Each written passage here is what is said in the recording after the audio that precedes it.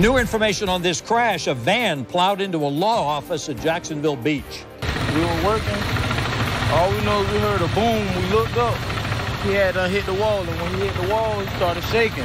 As he started shaking, we went over there, busted the window with the uh, pry bar, and got him out. In the past couple of hours, we learned police revealed the driver of the out of control vehicle had a medical issue.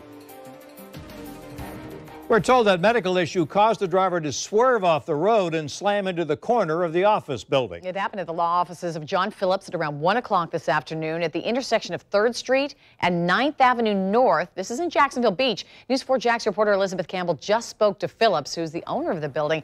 She's joining us live from outside the office. Elizabeth. Well, things actually incredibly look much better now than they did earlier. You can see the plywood has been put up and that now covers what was open for the majority of the day, but you still can see the shattered glass all over the ground. A man works just inside on the other side of this plywood.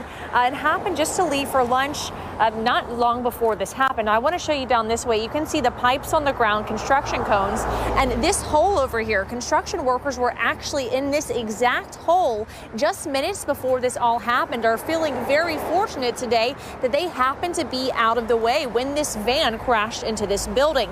Now, I want to show you some of the video that gives you a better idea of just how bad it was. That van crashing through the building, the driver was taken to the hospital. Once the van was removed, you could see just how close one attorney's desk and chair were to the area where the van went through. Now, today we talked to him as well as a construction worker, as well as John Phillips within the last hour, and he had the chance to see the damage for the first time today. Well, always gotta have your proper PPE on. You gotta be safe and you gotta be careful out here. You got to. It's a dangerous job. It's a dangerous job, but it comes with it. Uh, it was scary. Things happen for a reason. I got a lot of clients here in this area, and I got texted by about three or four clients checking to see if I was okay. My wife saw the picture. Um, everybody was kind of panicking because everybody who knows me knows where my office is. So we were here um, about two hours before. It, uh, like I was sitting right there about two hours before the crash. So this is literally the first time I've seen it. It's, it's uh, like there was serious intrusion. It came all the way in. It's, it's shocking. I'm just glad no one was hurt.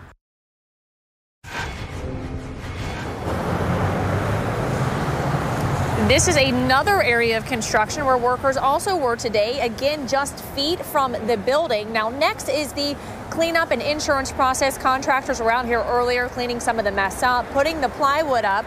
John Phillips says as for the attorney whose office is right behind that plywood, he will be moved to another office within this location or to his law firm in the Ortega area. And again, he says he is just so happy that everyone was okay, and he also hopes that that driver is okay. Reporting live from Jacksonville Beach, Elizabeth Campbell, Channel 4, the local station. Thank you, Elizabeth. Now, we're also learning more about a similar incident that happened in Lake City yesterday afternoon. Take a look. Several people were inside this Little Caesars pizza shop when, look at that, an SUV just came plowing right in. Troopers say Vicki Doyle was trying to turn into a parking spot when she drove over a curb and right into the restaurant on Southwest State Road 47. Just a mess there. Wow. The impact knocked one woman off her feet, and she was struck by flying debris from the crash.